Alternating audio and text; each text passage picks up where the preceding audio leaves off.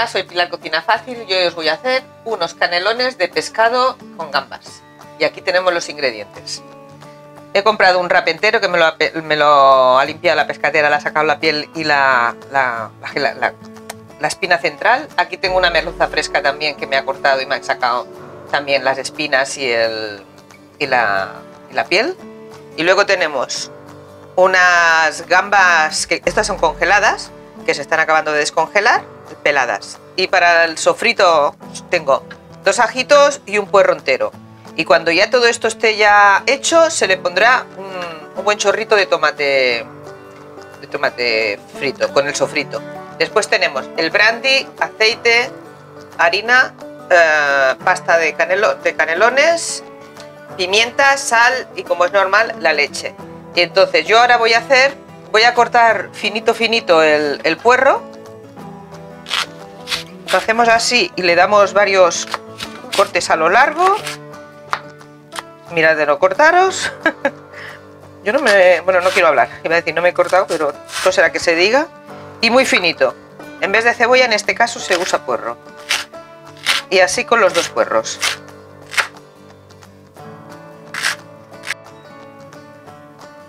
Y ahora ya tenemos como lo veis, bien picadito. Los, el puerro y los dos ajitos, picado todo igual. Y ahora mientras se, se va rehogando a fuego despacito, ahora le bajar el fuego.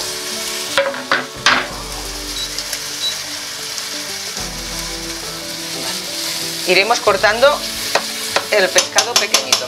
Como está limpio y está sin espinas, es muy fácil. Entonces,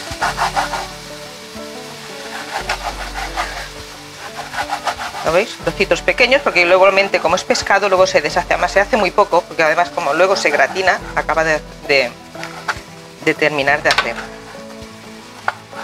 Y esto es unos canelones de señorito. ¿Veis? Cuando vais a hacer esto. Y ahora lo hacéis al revés. Y así con todo.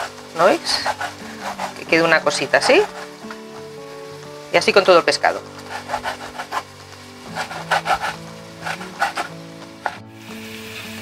Ahora le echamos, veis que ya está rehogadita, empieza a tostarse, le echamos la merluza y el rape.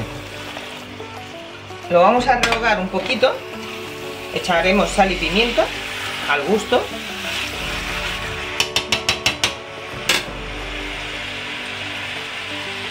Aquí hay como unos 2 kilos de... Eh, la merluza me hizo un kilo y algo y el rape me hizo 3 cuartos de, kilo. O sea que hay casi 2 kilos de, de pescado.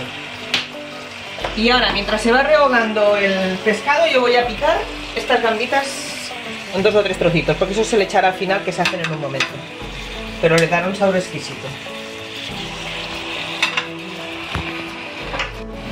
Le habíamos subido el fuego porque normalmente el pescado suele soltar agua y entonces cuando ya veo que se me está pegando un poco porque ha perdido el agua, ahora le echamos un poquito de brandy, tampoco demasiado.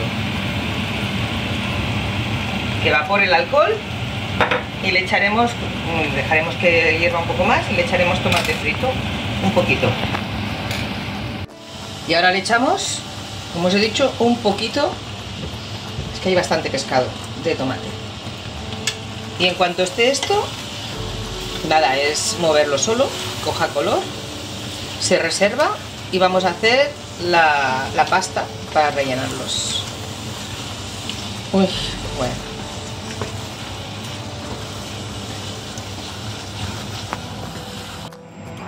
Pues ya tenemos aquí calentándose aceite y mantequilla, que voy a rehogar la harina, y aquí tengo el agua preparada para empezar a hacer la pasta de los canelones. Entonces aquí le echaremos bastante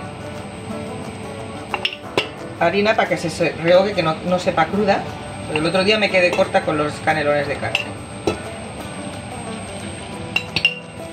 La movemos para que se rehogue. Y tranquilo, y ahí tengo en principio un vaso de agua caliente. Ahí de leche. Para que, aunque luego lo iré añadiendo natural, pero la que me interesa, la primera que esté caliente. Entonces los posibles grumos que haya se disuelven antes. Se cocina un poquito la harina. Y ahora echaremos la... ¿Lo veis cómo queda? Mira, hoy he tenido suerte. Normalmente siempre me queda algún grumo. Se cocina un poquito más. En este caso, mucha gente no le echáis, pero yo no, en la de pescado no le voy a echar cebolla. Siempre le echo cebolla a mí las bechameles de carne. La de pescado no se lo voy a hacer. Bueno, y una vez está rehogada la harina, empezamos con este basto que está caliente. Y nada, ya sabéis, poco a poco, poco a poco, e ir añadiendo leche. En este caso voy a coger ahora ya el batidor. Y en cuanto empiece a hervir la pasta,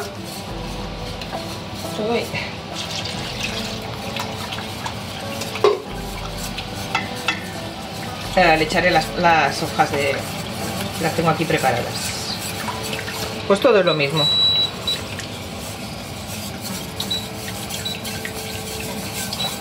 Ahora le echamos sal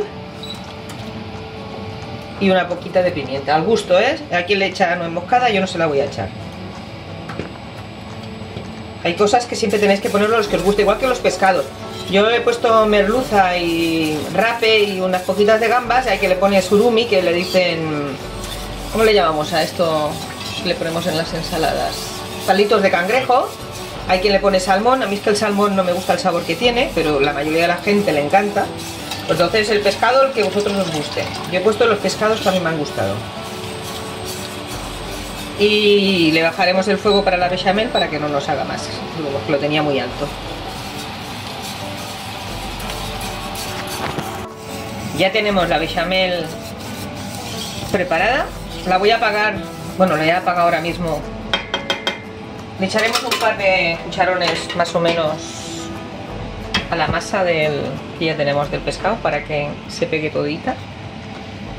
Y esto normalmente, mientras se enfría, mientras hago la pasta, a veces se, cuaja, pues solo hay que echarle un poquito más de, de aceite, digo, de leche y ya está. Y esto seguimos, ¿veis? Lo mezcláis bien. Esto ya está al punto para rellenar los canelones. Están, bueno, como siempre os digo, qué pesada, ¿no? Están muy buenos. Mira, voy a cambiar la palabra, están muy buenos. Pues nada, en cuanto tenga los canelones que los iré haciendo en varias tandas, los pondré ahí en los trapos limpios que veis al final. Y luego ya será, cuando se enfríe bien la masa esta, rellenarlos. Hola, vamos a llenar, rellenar ya los canelones. Los pongo con esto porque el otro día, después de que se me pegaban los de carne, opté por poner papel de horno y me va fantástico y así no ensucio la encimera. Y bueno, todo esto es lo mismo. Y vamos a ir haciendo con todo igual. Me caben cinco. Estas bandejas están muy bien porque pueden ir al al microondas, que las puedes gratinar directamente en el microondas, además lo he probado. Y se pueden meter en el lavavajillas, o sea que encima son muy económicas, porque los puedes volver a reusar. Le pondremos la bechamel, ahora cuando acabe de rellenar esto para que lo veáis, y yo ya continúo haciendo preparados. Y así, mira, no esperáis, compráis ahora el pescado antes de que, que suba el precio para Navidad, que se me abre este, espera. Es que claro, la carne no es lo mismo que el pescado. Quedarán más melosos también, pero... Aquí tengo las de esto limpias. Que las he pasado por agua después de hervirlas y ver al tente lo que a mí me ha gustado. Yo no miro el tiempo mucho, lo miro más por, por mí. Pero bueno, si no, ya lo pone en la cajetilla el tiempo que, que necesita. Y ahora le pondremos la, la bechamel. La moveremos un poco porque ha estado ahí un rato mientras... ¿eh? está caliente, pero no tanto como... Que no queden la de eso que ha quedado arriba. Si veis que hace falta un poco más de leche, se la podéis añadir. Cogemos un cucharón